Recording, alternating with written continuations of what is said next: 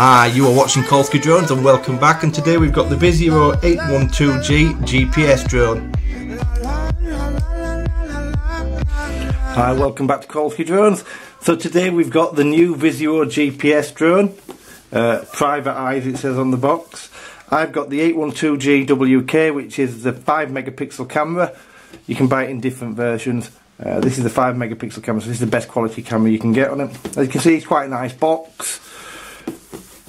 Don't know why they called it private eye. So in the box you get the controller, the drone, the phone holder, bag spares, and the manual.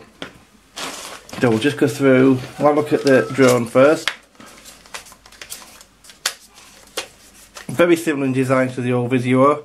Uh, it's quite a bit heavier and that's because it's obviously got GPS unit in and the battery's bigger. But apart from that, it's very, very similar. It actually feels better quality than the old one, I must admit. It feels stronger. There doesn't seem to be as much flex in anything, and it does seem a bit stronger than the old one. It does run on a proprietary battery. The battery you get is an 1800 milliamp hour one cell, but it's actually 3.85, so it's actually a high volt and you get the charger with it in the bag so it's good for about 14 minute flight time. Pop that back in there. You also get the controller. Now the controller is more of your decent size it's more of the size of a uh, hobby grade transmitter. Doesn't unfortunately feel hobby grade. It feels a bit cheap to be honest. The six don't feel the best so on the front of the controller you've got your on and off switch, you've got your camera button, your video button, your emergency stop button, your headless mode, return to home and calibrate the gyros and on the top you've got a speed button and an orbiting button. Now from what I can see on this, I haven't flown it yet but there doesn't seem to be an auto takeoff and auto land button which I find pretty strange to be honest on a drone these days. On the back you've takes four AA batteries and there's you screw in there. This comes off. It's quite tight and in here goes your phone holder. Makes quite a neat job of it to be honest. And there's your phone holders. There's no antennas on the top of it, it's got built-in antenna. You've not got any folding to do. And then your phone will go in the slot in the top. So let's just turn the drone on. In fact, let's just show you underneath of the drone. So there's no optical hold on this. It does have a, an adjustable camera. It's only adjustable before you fly, so you can't adjust it with the app. It's a module camera, so if you flick the front of the camera off, like that, this is where your SD card goes. And your SD card slots into there, and will click in. So the SD card goes in there. Then just make sure your antennas are back out of the way. Put it right around, it'll help get your antennas out of the way and just push it back in. And there's your SD card inside it which is quite a nice feature. So it will return will obviously record to the SD card by pressing the buttons on the controller. Let's just flick it on. So as you can see everything's flashing underneath. Turn the transmitter on. Standard way to bind.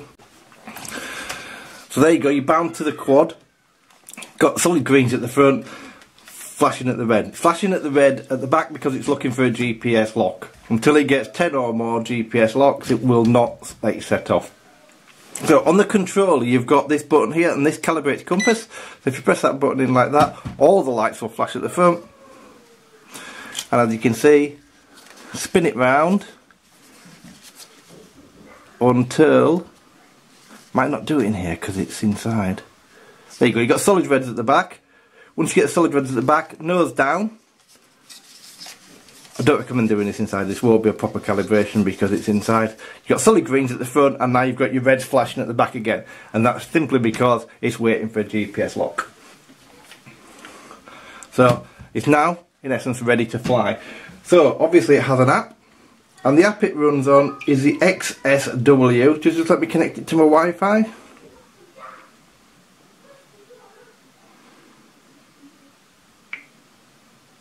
And the Wi-Fi is the 1080p GPS.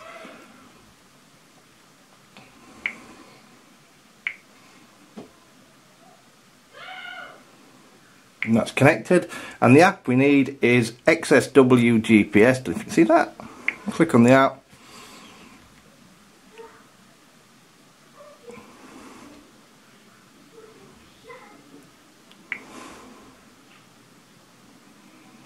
And the app didn't work try it again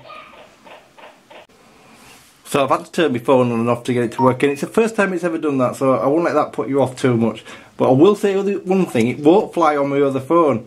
Now the strange thing is, this is very very similar to the 9000S that I reviewed a couple of weeks ago that I really like and that bound to that phone fine and the app's virtually identical so I don't understand what's going on here but it might have a little bit of an issue.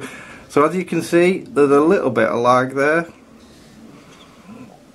but I think only what you expect from a Wi-Fi drone. You're not going you can't fly FPV with a Wi-Fi drone. So let's just go through the app quickly. So that is follow me mode. So the little picture of a person is follow me mode.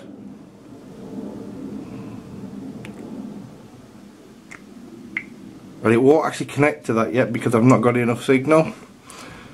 It might come on, I sometimes can get the signal in here. This is your waypoint mode. I've no map obviously, but your waypoints are here. You draw, you put your points in, it won't work because I've got the map, and then you upload it and off you go and fly. Return to home, picture mode, and then in your settings you've got, you have to adjust the height of your waypoints and the speed of your waypoints. Now, the only thing is, I can guarantee these will not stay. You'll have to do this every time you want to fly, unfortunately. Your map you choose aircraft display on map center and map coordinates auto calibrated in China you don't do that obviously and I didn't have a map bit selected so if I go to standard I should put the map on my screen but it still may not load because I've no GPS in here at all um,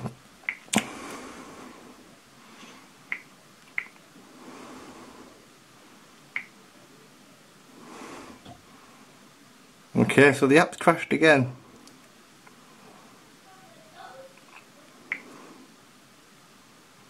Okay, just let me go and reboot my phone again. I'll be back in a second. Hi, I'm back again. So I've rebooted the phone again and I tried it with a different phone uh, when I was gone and that wouldn't even find the Wi-Fi connection. So I don't know whether this is just an issue I'm having today with it or not. So I'm going to give it the benefit of the doubt and we'll move on from that. So you've got your VR button. So if you put it in some VR goggles you can make it work. Camera button, video button, your photos, where they put them the altitude and distance, your speed, your position, your mount of satellites, your position of the craft, so pitch and roll, battery voltage from the craft, signal strength, and then in here you've got your just your waypoints, this is your map,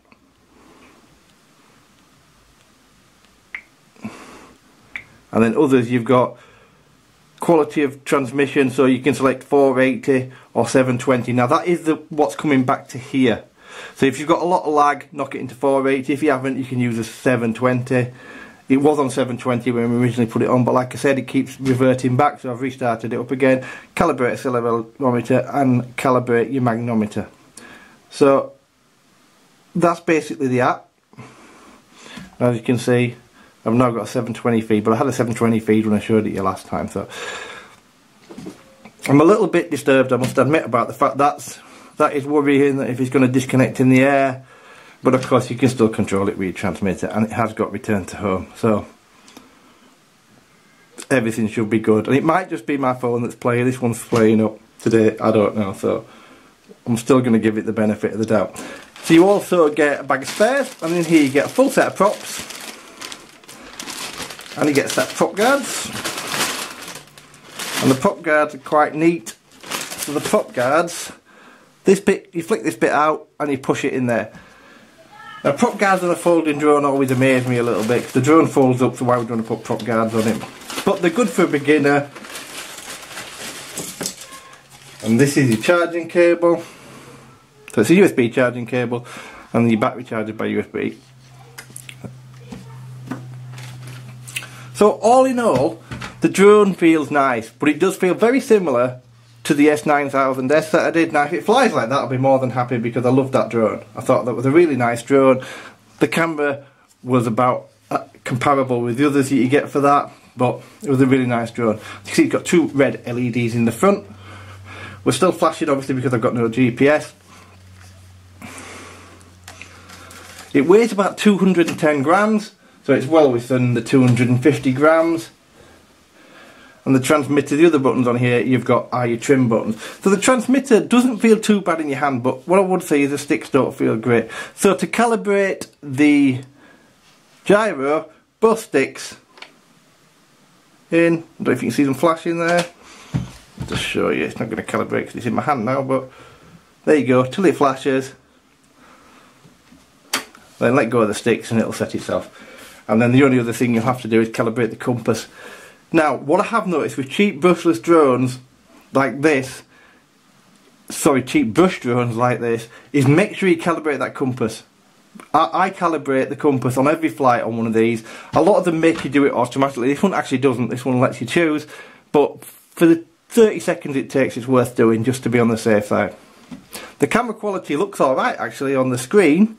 I haven't obviously done a recording yet. I haven't recorded any video back to my to the drone because I haven't flown it. But yeah, it looks quite decent.